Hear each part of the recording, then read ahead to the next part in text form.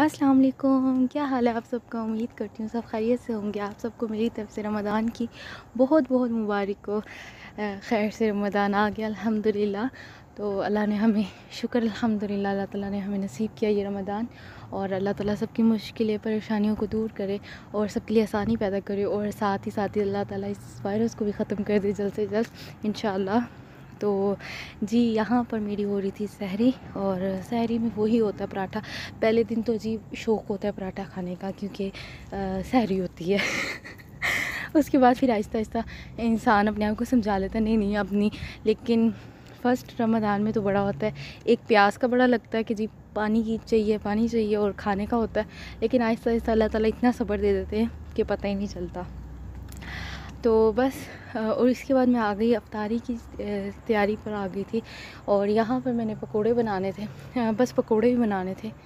समोसे अभी तक मैंने बनाए नहीं। मैं रोज़ कहती हूँ, बनाऊँगी बनाऊँगी बनाऊँगी, लेकिन पता नहीं, मेरी हिम्मत ही नहीं होती बनाने की। तो इन बनाऊँगी। तो पकोड़े तो आपको पता है, पकोड़े तो ना खाएँ तो ऐसा हो ही नहीं सकता।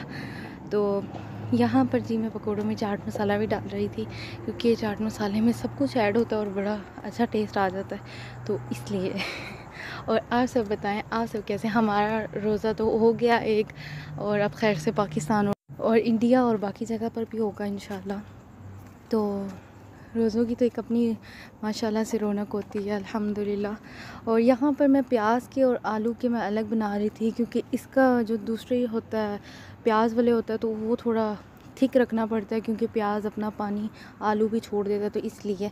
तो ये मैं अलग बनाती हूँ अगर आप इसको भी पतला कर लें और फिर इसमें प्याज डाल दें तो फिर जब आप ऑयल में डालेंगे तो सिर्फ़ प्याज ही मिलेंगे, पकोड़े नहीं बनेंगे।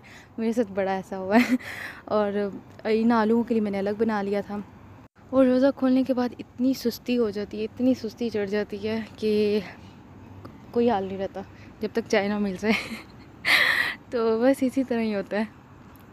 तो जी, यहाँ पर मैं ये पकौड़ों का तैयार कर रही थी अभी और साथ ही साथ वो था चाट भी बना रही थी। वो मेरी मामा फ्रूट्स को कट कर रही थी और मैं अंदर पकौड़ों को देख रही अच्छा जिस टाइम पर अफ्तारी होती है ना जितनी मर्ज़ी चीज़ें भी बनी हों, लेकिन खाई नहीं जाती। जब पानी पीते हैं ना हम लोग तो वैसे ही इतना वो हाल हो जाता है, बुरा कि दिल नहीं करता कि कोई और चीज़ खाने को। तो ये हम लोग लेके आए थे। रमदान से पहले ही लेके आए थे, क्योंकि आपको पता है तो इन चीज़ों की तो ज़रूरत पड़ती रहती है ना, ये बर्तन जो होते हैं। और साथ ये थे, ये एक बॉक्स टाइप बना हुआ था कुछ तो इसकी भी आपको पता है, जो चीज़ बच जाती है तो वो रखने में फ़ायदा होता है। जितनी मर्ज़ी भी ऐसी चीज़ें हो ना, घर में कम ही पड़ती हैं, पता नहीं क्यों। तो बस ये चीज़ें थी। तो बस ये चीज़ें थी। अच्छा मैंने अपना जो चैनल था ना, वो भी रमदान के अंदर ही बनाया था। पिछले रमदान में मैंने चैनल बनाया था अपना तो एक साल हो गया। कुछ मेरी कुछ ऐसी वैसी चीज़ों की वजह से भी मैं बहुत ज़्यादा कम आने शुरू हो गई, नहीं तो पहले तो फिर भी आती थी, लेकिन उसके बाद बहुत ज़्यादा कम हो गया। लेकिन खैर इन आहिस्ता आहिस्ता सब कुछ हो जाएगा। तो यहाँ पर फ्रूट्स मेरी ममा कट कर रही थी। अच्छा जो चाट में खजूर का टेस्ट आता है ना, पता नहीं क्यों, मुझे तो बहुत अच्छा लगता है। आप में से किस किस को अच्छा लगता है? तो यहाँ पर मैंने मामा ने फ्रूट्स कट, कर दिए थे और मैंने इसके अंदर क्रीम ऐड करनी थी क्योंकि हमारे घर में ज़्यादा क्रीम वाली शौक से खाते हैं। तो बस ये वो भी खाते हैं माल्टे वाली भी खाते हैं, लेकिन क्रीम वाली ज़्यादा शौक से खाई जाती है। तो बस इसी तरह ही था और यहाँ पर जी पकोड़े डाल रही थी मैं और प्याज वाले पकोड़े इतने कोई कमाल के बने आज तो। सच में बड़े ही ज़बरदस्त बने थे। तो बस यहाँ पर फ्रूट भी करके हमारे घर में जितनी चीज़ें पड़ी हुई थी, हमने उसी की चाट बना ली। क्योंकि बाज़ार से इतने ज़्यादा चीज़ें नहीं आई हुई थी तो खैर जो था घर में उसी की चीज़ें, वही चीज़ों से जो बनता था, बना लिया। तो बस, और क्रीम के साथ चाट का तो आपको पता है ना, मज़ा ही बहुत होता है। पाकिस्तान में बाज़ार से मिलती हैं क्रीम चाट लाहौर में, बड़ी ही मज़े की होती है वो भी। मैंने खाई हुई है।